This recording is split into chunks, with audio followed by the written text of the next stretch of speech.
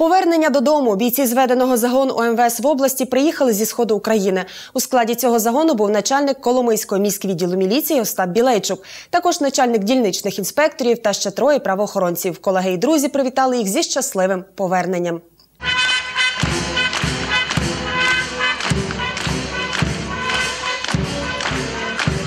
Бійці зведеного загону міліції Івано-Франківщини прибули зі службового відрядження. Прикарпатські міліціонери повернулися з Маріуполя із подяками за сумлінну службу. Зважаючи на загострення ситуації в районі Маріуполя протягом останнього місяця, зрозумілою є радість та піднесення, з якими друзі, рідні, колеги зустрічали івано-франківських правоохоронців біля обласного управління внутрішніх справ. Хлібом, сіллю та щирими оплесками вони вітали їх із щасливим поверненням.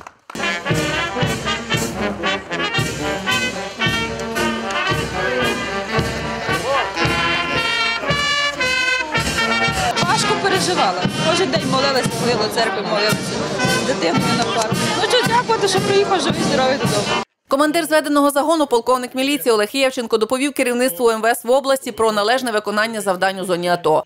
Він також повідомив присутнім, що наказом очільника міліції Донеччини за добросовісну службу та мужність особовому складу загону оголосили подяку. А бійців, які відзначилися найкраще, нагородили цінними подарунками. Ця ротація е, взагалі була в деякій мірі дещо напружена, зв'язана з тим, що на території е, міста Маріуполя е, працівниками головного управління Міністерства внутрішніх справ Донецької області була знешкоджена е, диверсійна група. В складі трьох чоловік це всі знають з засобів масової інформації.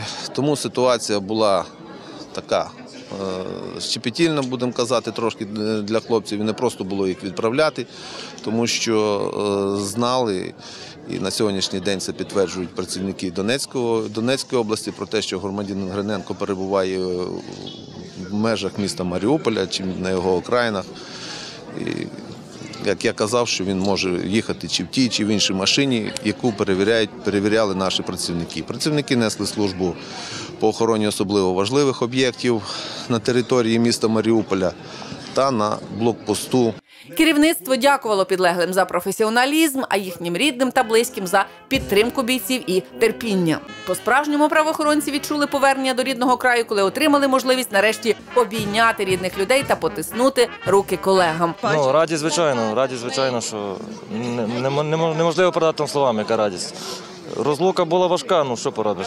Треба захищати нашу країну. Після відпустки вони невдовзі повернуться до виконання службових обов'язків. Разом з тим, як стверджують міліціонери, вони готові за потреби знову вирушити на схід України.